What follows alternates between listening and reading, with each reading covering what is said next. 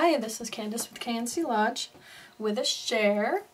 Um, I went to some yard sales last weekend and um, wanted to show you what I got for 50 cents.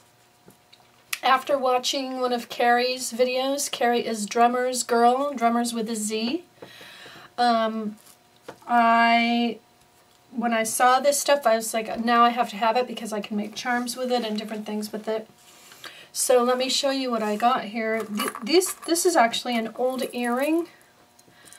Um, but I think it reminds me of cowbells, and I think this would make a really cool charm. And then this set of earrings, again, just, it's got these little stones on them.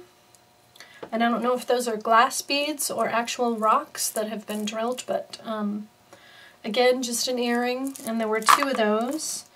And, um, and then this little old rope. These are pretty vintage looking items. And then this um, earring, which Carrie showed a video on how to remove the back so you could turn this into a charm piece or um, just an embellishment. And then this little embellishment. And I got all this um, for 50 cents. So loving it, love the yard sales, um, love the ideas I'm getting off of YouTube. So we'll see you there and um, see you guys on your paper pantry. Bye-bye.